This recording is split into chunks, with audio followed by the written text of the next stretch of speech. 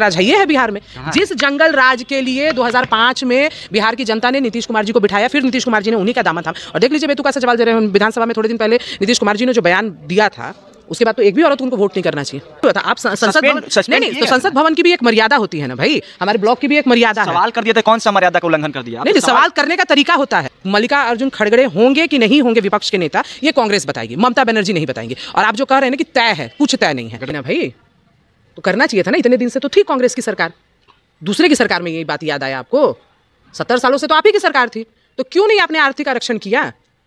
उस वक्त आपको जाति का पिटोरा ढोने का मन कर रहा था हम जाति पे खेल खेल रहे हैं। और आज विपक्ष में बैठे हैं तो आपको याद आ रहा है कि नहीं जातिगत आरक्षण नहीं होना चाहिए था आर्थिक आरक्षण होना चाहिए। तो करिए जिस दिन आपकी सरकार थी जिस दिन आपके पास मौका था तो उस दिन करना चाहिए था। फिर पुनः आपकी सरकार आएगी तो सेक्स का एजुकेशन देना है। सेक्स एजुकेशन देखने के लिए विधान सभा था वो।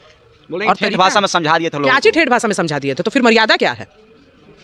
ठेठ भाषा में समझा दे तो फिर मर्यादा क्या है भाई? अब अब हम हम आपको गोली चला दे रहे हैं। उसके बाद कहेंगे कि भाई माफ़ी मांगते हैं आपके परिवार वालों से जाके माफ़ी मांग लेंगे। चला देते हैं गोली। लाइसेंस ही मेरे पास रिवॉल्वर है तो मैंने गोली चला देंगे। इसका मतलब भी तो सरकार ने हमको लाइसेंस दिया अपनी सुरक्षा के लिए। इसके लिए थोड़ी दिया है कि जिसको मन करेगा उसी को गोली मारते चलेंगे हम। बता दीजिए कोई भी फॉरवर्ड फॉरवर्ड बैकवर्ड की राजनीति अभी भी हमारे यहाँ होती है और लोग इसको मानते हैं। और लोग मानते ही नहीं हैं। लोग उसके हिसाब से वोटिंग भी करते हैं। 2024 में लोकसभा के चुनाव होने वाले हैं। लोकसभा के चुनाव को देखते हुए तमाम राजनीतिक संगठनों ने अपनी अपनी तैयारियाँ शुरू कर दी है। एक तरफ़ भाजपा। भाजपा जो अभी देश की सत्ता पे काबिज है भाजपा की सरकार नौ साल बेमिसाल मना रही है तो दूसरी तरफ़ जो विपक्षी दल है रहे उन लोगों की तैयारी अभी जुड़े पे। बातचीत करने के लिए हमारे साथ जुड़ी है महिला मोर्चा भाजपा के प्रदेश प्रवक्ता हैं सुषमता कुशवाहा जी। स्वागत है मैडम आपका सबसे पहले। धन्यवाद क्या कहेंगे तैयारी किस प्रकार से है मैडम आप लोगों की? देखिए, तैयारी तो आपने बीते दिनों देख ही लिया। तीन बड़े राज्यों में बहुत ही अच्छी जीत भाजपा ने हासिल की। और मैंने तो पिछले एक इंटरव्यू में भी कह दिया था कि ये शगुन का जीत है। निश्चित रूप से इसी तरीके का परिणाम आने वाले लोकसभा में भी हम लोगों को देखने के लिए मिलेगा। और जनता बहुत त्रस्त हो चुकी है। इंडिया गठबंधन का देख ही रहे हैं। पिछली मीटिंग में क्या स्थिति हुई उन लोगों की। तो बीजेपी आ रही है और बहुत बड़े बहुमत के साथ चौबीस में बीजेपी आ रही है? बिल्कुल निश्चित रूप से बीजेपी आ रही है 24 में और 25 में बिहार में भी बीजेपी आ रही है। विपक्षी पार्टियों का कहना है कि उखाड़ फेंकेंगे मोदी जी को। तो कहाँ से उखाड़ फेंकेंगे? आप अपने अट्ठाईस पार्टियों के साथ में आप इंडिया गठबंधन आपने बनाया है और आप काम कर रहे हैं लेकिन आपकी सहमति कहाँ बन पा रही है? मीटिंग में भी आपकी सहमति नहीं बन पा रही है। आप लोग पूरी तरीके से एक साथ बैठ नहीं पा रहे हैं। उसमें आधे इधर रुष्ट हो जाते हैं। ममता बनर्जी कौन होती है ये बताने वाली कि कांग्रेस किसको प्रमोट करेगी? इसका मतलब कि आपने आपस में ही तय नहीं किया है और इतनी इतनी बड़ी बात बोलना किसी भी एक, एक- आप जब गठबंधन में तो इस चीज़ की इस चीज़ को इस तरीके से नहीं बोलें कि आधे लोग कुर्सी से उठ के चले जाएँ।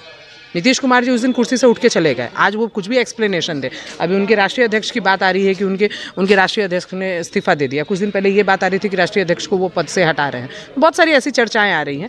बीजेपी की जो स्थिति है आज के डेट में जनता चाहती है कि बदलाव आए। बहुत दिन हम लोगों ने देखा बहुत सारी चीज़ों को। कांग्रेस का भी राजपट देखा ना भाई? और पिछले दो टेन्योर को तो हम लोगों ने देखा ना प्रधानमंत्री जी के। निश्चित रूप से हम लोगों ने अभी थोड़े दिन पहले आप जी ट्वेंटी की ही बात करें। पूरे विश्व में एक बहुत बड़ी अर्थव्यवस्था के रूप में भारत आया। और जो जी ट्वेंटी की जो बात हो रही थी, इतनी खूबसूरती से, इतनी बखूबी जी ट्वेंटी का कार्यक्रम ऑर्गेनाइज किया गया दिल्ली में तो जनता क्या चाहती है? विश्व में अपना लोहा मनवाया हम लोगों ने, इससे बड़ी उपलब्धि तो कोई नहीं हो सकती है। विपक्षी पार्टियों का आरोप है, महँगाई से जनता त्रस्त है, बेरोजगारी है, मोदी जी ने वादा किया था पंद्रह पंद्रह लाख अकाउंट में आएँगे दो दो करोड़ हर साल रोज़गार देंगे।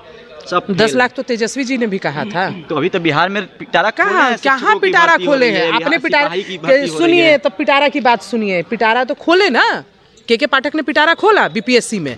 और देख लीजिए कितने बीपीएससी में कितने बिहार के लड़कों की बहाली हुई? कितनों की हुई? देखिए आंकड़ा निकाल के। सारे यूपी के लोग आके यहाँ पे भर गए।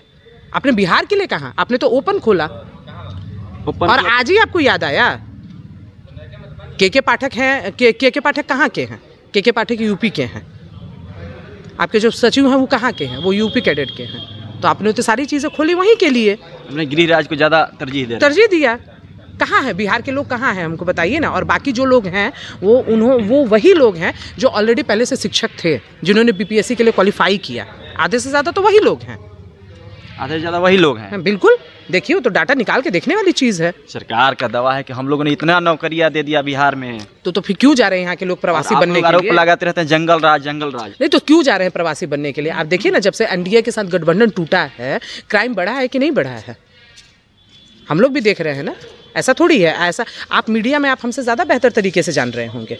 क्राइम का जो रेशियो है वो किस हिसाब से बढ़ा है। और आप कह रहे हैं कि हमने बहुत सारी व्यवस्थाएँ की, बहुत सारी चीज़ें की। तो हम सारी चीज़ें तो वही, अभी हम लोग घूम रहे हैं। संकल्प यात्रा जो चल रही है, विकास की जो संकल्प यात्रा प्रधानमंत्री जी की चल रही है, हम लोग काफ़ी पंचायतों में जा रहे हैं, देखने के लिए भी मिल रहा है। तो हम लोगों को तो यही मिल रहा है ना देखने के लिए, जो भी योजनाएँ हैं सरकार की हैं विश्वकर्मा योजना सरकार ही की है। जो भी हम लोग बाकी की जो योजनाओं की बात करें, वो भी सरकार की। सरकार राशि दे रही है वहाँ से, और यहाँ पर कह देती है राज्य सरकार की हमारी चीज़ें हैं हम क्यों प्रवासी बन के जा रहे हैं? लोग यहाँ से आपके आपके उम्र के लोग यहाँ से बाहर निकल के जा रहे हैं सत्रह हज़ार की नौकरी करने के लिए। कहाँ आपने रोज़गार किया है? लेकिन आप लोग डेमोक्रेसी पर हमला कर रहे हैं। डेमोक्रेसी में लोकतंत्र पे आप लोग हमला कर रही हैं। किसी को बोलने की आज़ादी होती है डेमोक्रेसी में। आप लोग बोलने कहाँ दे रही हैं? संसद भवन में देखिए कि हमला हो रहा है तो विपक्षी सांसदों को जो इंडिया अलायंस के सांसद समझ लीजिए हर चीज़ का देखिए हर चीज़ की एक नियम नियमावली होती है। स्कूल की जो घंटी होती है वो तीस मिनट की होती है। आप तीस से पैंतीस पैंतीस मिनट आप पढ़ा नहीं सकते हैं। रही बाहर निकालने की सांसदों की बात तो हर चीज़ का एक प्रोटोकॉल होता है। प्रोटोकॉल से आप विरुद्ध में रहेंगे तो वो पक्ष में हो या विपक्ष में है। उनको उसका खामियाजा भुगतना ही पड़ेगा। तो आप हमको एक बात बताइए ना, आप वहाँ की तो बात कर दिए। और यहाँ पे जो थोड़े दिन पहले आपके आंगनवाड़ी के लोगों की हड़ताल थी एनएम की हड़ताल थी, शिक्षकों की हड़ताल थी, छात्रों की हड़ताल थी, उसके बाद आपकी आम लोगों की हड़ताल थी, जीविका दीदी की हड़ताल थी तो सभी लोग आपसे असंतुष्ट हैं। कोई भी तो एक हमको तबका बताइए। और उसमें जिस हिसाब से हुई आंगनबाड़ी के साथ में जो स्थिति हुई आंगनबाड़ी की बहुत सारी ऐसी महिलाएँ हैं जिन पर आप लोगों ने लाठी डंडा करवाया। अभी देख लीजिए परसों वीर कुंवर सिंह का जो अ, हुआ सीनेट का जो बैठक हुआ उस सीनेट के बैठक में जो मारपीट हुई लड़कियों पर भी तो वो किसने केंद्र सरकार ने आके करवा दिया? राज्य सरकार की ना देखिए जिस जिस जगह पे चीज़ें होती हैं उस सरकार का दायित्व होता है उस चीज़ को और उस दायित्व को आपको लेना पड़ेगा। तो जो कार्रवाई हुई थी सांसदों के ऊपर इंडिया अलायंस के जो सांसद थे आप सही मानते हैं? मारपीट थोड़ी हुआ था आप संसद भवन नहीं नहीं तो संसद भवन की भी एक मर्यादा होती है ना भाई? हमारे ब्लॉक की भी एक मर्यादा है। सवाल कर दिया था कौन सा मर्यादा का उल्लंघन कर दिया? नहीं तो नहीं सवाल करने का तरीका होता है। एक बात बात समझ लीजिए आप सभापति के निर्देश में है तो सभापति हम लोग प्रिंसिपल के निर्देश में है। हम लोग भी यहाँ पे बैठते हैं अगर समिति के बैठक में बैठते हैं तो यहाँ पे प्रमुख सर्वे सर्वा हैं। प्रमुख अगर कह दिए तो सुनना है। अगर हम उसका विरोध कर रहे हैं तो आप उसका उसके उसके लिए काम करते हैं। इसी तरीके से वहाँ पे हम अगर हैं किसी भी चीज़ की एक मर्यादा होती है और लोकतंत्र में बिना मर्यादा के कोई चीज़ें नहीं कर सकते। आप विश्व का सबसे बड़ा लोकतंत्र हैं लोकतंत्र के हिसाब से आपको काम करनी और हर चीज़ का एक प्रोटोकॉल होता है। बिना प्रोटोकॉल के आप काम नहीं कर सकते हैं। लेकिन आरोप लगा रहे हैं कि आप लोग उनकी आवाज़ को जो है विपक्षी सांसदों का आरोप है आप लोग आवाज़ को दबा रहे हैं। इसीलिए लाठी सब सबसे ज़्यादा लाठी डंडा चार्ज यहीं पे हो रहा है। उन लोगों का कहना है कि मोदी जी प्रधानमंत्री बात छोड़िए हैं ना मोदी जी प्रधान इसका मतलब है कि नीतीश कुमार जी मुख्यमंत्री हैं तो जितने भी उनके सरकारी तंत्र है सभी गलत काम कर रहे हैं। है कि मोदी जी प्रधानमंत्री सवाल राहुल गांधी से थोड़े होगा मोदी जी से होगा ना? तो बिल्कुल निश्चित रूप से तो तरीका ना होता है उसका। कि बिना तरीके के कुछ भी पूछ लीजिएगा। इसीलिए हम लोग बीजेपी का थोड़े दिन पहले हम लोगों ने अ, लगा था आप विधानसभा का जो घेराव का बात हुआ था उसमें कितने लोगों का तो हम लोग क्या हम हम किससे सवाल पूछने गए थे? हम भी तो मुख्यमंत्री से सवाल पूछने गए थे। मुख्यमंत्री शांति तरीके से आके हम लोगों के सवाल का जवाब उसमें क्या हुआ था? हम खुद उस कार्यक्रम में थे। ऐसा तो किसी ने भी पार्टी के किसी भी आदमी ने ऐसा आक्रोशित क्या लाठी डंडा लेके गए थे हम लोग? और बीजेपी के कितने सारे लोगों के साथ आप लोगों ने लाठी डंडा आपने चलाया? बहुत सारे लोगों के यही हमारी उपाध्यक्ष हैं। महिला मोर्चा की उनका हाथ टूट गया था सिग्रीवाल जी का माथा फूट गया था तो हमने सामने देखा था तो वो क्या था भाजपा कार्यकर्ता की मौत भी हो गई एक भाजपा कार्यकर्ता की मौत भी हुई तो वो तो हमने सामने ही देखा था। आप जब उस चीज़ को बाहर रोड पे जबकि आपके परमिशन लिया हुआ था उस चीज़ की एक बतौर आपने चिट्ठी दी हुई थी कि हाँ हमारे प्रदेश अध्यक्ष ने उसके लिए एक चिट्ठी दी थी कि हम एक शांतिपूर्वक विधानसभा का घेराव करना चाहते हैं। आपकी तरफ़ से कोई भी बाहर आके बोल सकता था देखिए जनता को हम संतुष्ट नहीं कर सकते हैं क्योंकि लोकतंत्र में हैं आप उसका काम है सवाल पूछना लेकिन आपका दायित्व है ना कि आप बाहर निकल के आके उसकी बातों का जवाब दें। लेकिन तरीके से। क्या हो रहा था उस दिन? हम भी थे उस कार्यक्रम में। रोड पे लोग जा रहे थे। किसी ने भी कोई विरोध मार्च नहीं किया था। ऐसा तो नहीं था। उसमें तो उस कार्यक्रम में तो यहाँ तक कि बिहार मतलब सरकार के बारे में भी हम लोग चर्चा नहीं कर रहे थे। बीजेपी जिंदाबाद बीजेपी जिंदाबाद। जंगल राज हटाओ। बस इतनी ही बात हो रही थी। तो जंगल राज कहाँ है बिहार? जंगल राज है ये है बिहार में। है? जिस जंगल राज के लिए 2005 में बिहार की जनता ने नीतीश कुमार जी को बिठाया फिर नीतीश कुमार जी ने उन्हीं का दामा थाम। और देख लीजिए बेतुका से सवाल दे रहे हैं विधानसभा में थोड़े दिन पहले नीतीश कुमार जी ने जो बयान दिया था उसके बाद तो एक भी औरत को उनको वोट नहीं करना चाहिए। करना चाहिए वोट? आप सब कुछ सेक्स का एजुकेशन देना है। सेक्स एजुकेशन देखने के लिए विधान सभा था एगो बोले और और ठेठ भाषा में समझा दिए थे लोगों क्या ठेठ भाषा में समझा दिए थे? तो फिर मर्यादा क्या है? ठेठ भाषा में समझा दिए तो फिर मर्यादा क्या है भाई? और भी तरीके क्षमा भी तो मांगे थे। क्षमा कहाँ मांगे थे? क्षमा नहीं मांगे थे। आप गलत बात बोल रहे हैं। बयान को वापस नहीं बयान को वापस अब अब हम हम आपको गोली चला दे रहे हैं। और उसके बाद कहेंगे कि भाई माफ़ी मांगते हैं। आपके परिवार वालों से जाके माफ़ी मांग लेंगे। चला देते हैं गोली। अच्छा। लाइसेंस ही मेरे पास रिवॉल्वर है तो मैंने गोली चला देंगे। इसका मतलब ये तो सरकार ने हमको लाइसेंस दिया अपनी सुरक्षा के लिए। इसके लिए थोड़ी दिया है कि जिसको मन करेगा उसी को गोली मारते चलेंगे हम। और मुँह हो या हाथ हो चलाना चाहिए बोलना चाहिए सोच के समझ कर और आपने जो ठेठ भाषा का प्रयोग किया वो किसी भी तरीके से मर्यादित नहीं थी एक औरत के लिए। आपके विधानसभा में जितनी महिलाएँ बैठी हुई थी उनमें से किसी ने सिर नहीं उठा, उठाया। आप कुछ भी बोल दीजिए। अंतिम सवाल आपसे रहेगा। कांग्रेस जहाँ आरक्षण की बात करती है हम लोग आरक्षण के पक्षधर हैं। कांग्रेस के एक बड़े नेता आचार्य प्रमोद कृष्णम ने खुले मन से कह दिया है ब्राह्मणों की सभा हो रही थी ब्राह्मण समाज की सभा हो रही थी कि जातिगत आरक्षण को खत्म कर देना चाहिए। और जो आरक्षण होना चाहिए, आर्थिक आधार पर होना चाहिए। कहाँ तक देखती हैं आप इसे? करिए ना भाई। तो करना चाहिए था ना, इतने दिन से तो थी कांग्रेस की सरकार।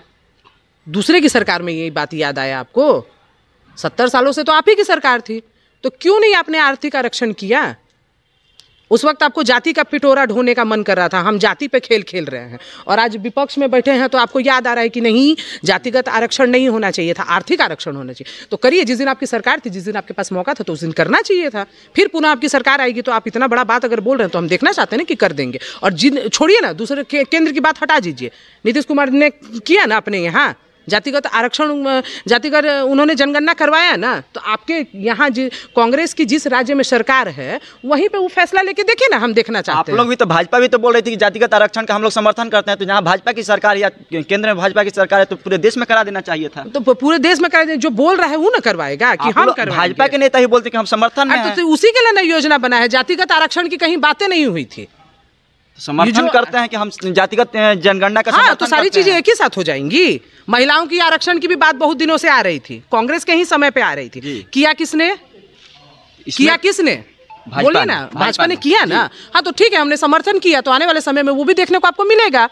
महिला आरक्षण पर भी हल्ला मचा हुआ था कि आप लोग जो पिछड़ा समाज की महिला उन लोग को मतलब आरक्षण अलग से आरक्षण नहीं देना दी गई है इसमें। अरे पहले महिलाओं को खुद का तो आरक्षण मिल जाए पिछड़ा समाज का तो बात छोड़ दीजिए ना। पहले तो ठीक है पहले हमको खुद का आरक्षण तो मिल जाए। आरक्षण मिलेगा तब ना उसके बाद में आगे आगे के बारे में हम सोचेंगे। अभी तो हमको जिसने दिया उसी के बारे में ना हम सोचेंगे। उसके बाद अब जातिगत आरक्षण की बात होगी। अभी तो महिलाओं को ही नहीं आरक्षण मिला था। पक्ष में है जातिगत आरक्षण जनगणना के? जातिगत जनगणना अगर सरकार को लगता है कि सही है लेकिन हमारे हिसाब से अभी हमारे देश में उस तरीके की क्राइटेरिया नहीं है। हम लोग इतना बड़ा लोकतंत्र में हैं और धर्मनिरपेक्ष तरीके का हम लोग करते हैं। हमको एक बात बता दीजिए, कोई भी फॉरवर्ड फॉरवर्ड बैकवर्ड की राजनीति अभी भी हमारे यहाँ होती है और लोग इसको मानते हैं। और लोग मानते ही नहीं हैं। लोग उसके हिसाब से वोटिंग भी करते हैं।